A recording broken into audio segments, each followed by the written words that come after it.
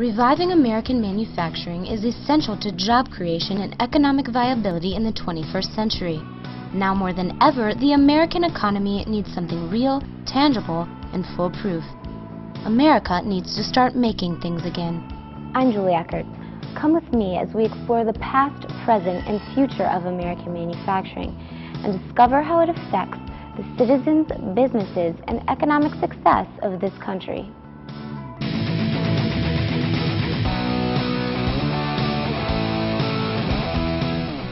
From the very start of the Industrial Revolution, manufacturing has been a catalyst for economic growth. It's growth of that caliber that's desperately needed again today. Alliance for American Manufacturing Executive Director Scott Paul told me about the history of manufacturing and the integral role that it had in making our economy number one. For much of the last century, manufacturing was the biggest part of our economy. It provided good jobs and it actually provided a path to the middle class for generations of Americans, but it made our country strong and secure as well. The antiquated images of dingy factories and grime-covered workers that have previously represented manufacturing have been replaced by state-of-the-art facilities and cutting-edge technology, making it a suitable foundation for the economy of the future. Uh, green technology is, is uh, we're just paying more attention to this stuff now than we did 40 years ago. And so um, people are beginning to try to figure out how to make products, how to design products in the first place that are more ecologically uh, uh, friendly. Not only are processes changing, the products being manufactured are unlike anything we've ever seen before. American manufacturing is going green, and it's more technologically advanced than ever. The green movement is the future of the globe. Really what you're looking at is um, the entire uh, industrialized world moving towards uh, green, environmentally friendly practices. The Allison Transmission Plant in White Marsh, Maryland is an example of GM's innovative and forward-thinking philosophy on American manufacturing. The employees there couldn't be more excited about paving the way. We believe that we're the future of General Motors. You know, that we're really looking at how do you be more efficient and effective and protect the environment. And uh, we're, we're glad to be on the leading edge. And as manufacturing has changed, so has my opinion of its place in our future everything is produced, it's manufactured, and it affects everyone, whether you're a student or any consumer for that matter. You can see the movement of both the government and industry as a whole. Uh, better uh, educated jobs are in high demand right now. When we look at new manufacturing, we're looking at um, new machines, new technologies, new software. It's a wonderful opportunity for kids. We all understand that to keep jobs here in America, we have to have a competitive, cooperative spirit. And um, that's something that we really strive for here. And we all know that's what's going to secure our futures. And a revived manufacturing sector will undoubtedly reach far from the factory floor. Manufacturing has this incredible way uh, to spur jobs in other parts of the economy. So it's not just about the manufacturing sector. There is no doubt that the American economy is consumer driven and I found myself wondering how we can keep buying things if we don't actually make them. If you make stuff that endures, and if you make stuff that the world needs, there will always be a market for that. It's not self-serving to say we need manufacturing, you know, you need us here, because if we're here and we're growing, the opportunities out in, in, the, in the surrounding communities winds up getting better and better. I spoke with Allison Transmission Plant Manager Bill Tiger about the importance of creating wealth through manufacturing.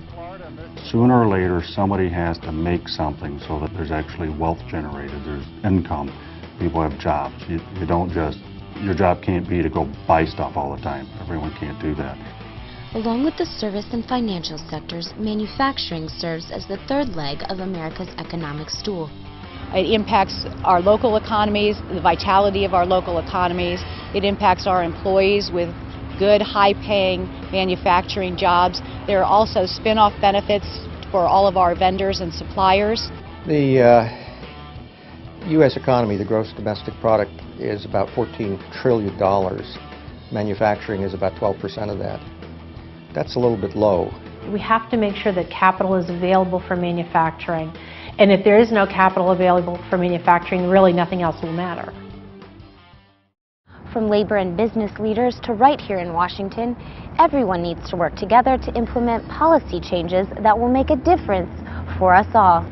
Think about like our children's future. I mean, you know, we're doing all this stuff now, but it, it's eventually going to affect, you know, our children and their children. Manufacturing things here will provide more jobs for Americans because, you know, it's easy and it allows a lot of people who don't have a lot of experience doing things and may not have a high, you know, education do jobs.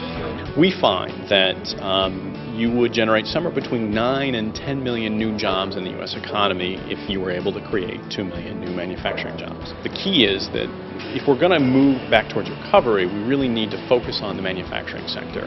Um, in particular because manufacturing is a, is a high wage sector. It provides a good family sustaining job with good take home pay, but also includes health insurance and, and pension benefits. The first thing we have to do is really level the playing field.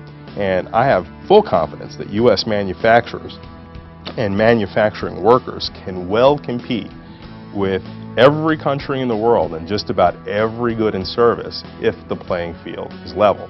Outsourcing to other countries has definitely become a big trend, but um, companies are still staying here. The movement of manufacturing overseas and the increasing amount of uh, importation or imports into America, uh, you're creating a trade deficit, and that's hurtful to the economy. The gross domestic product, or GDP, is the sum of all economic activity in our nation.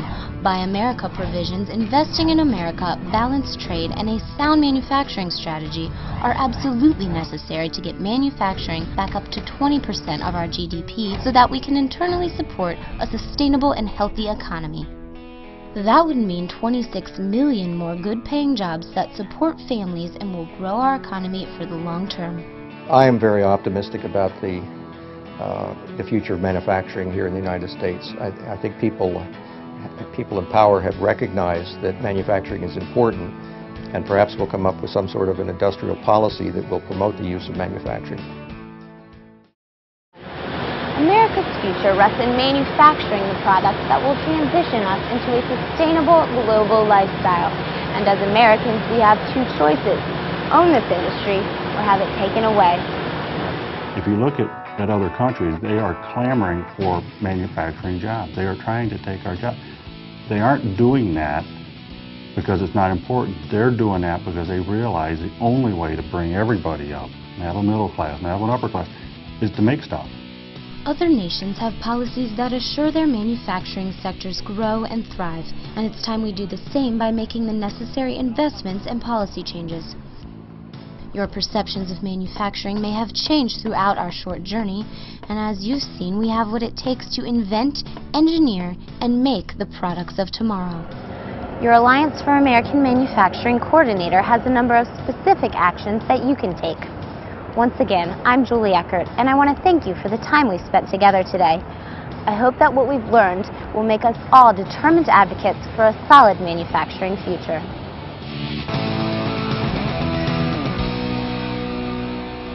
For more information, please visit www.americanmanufacturing.org.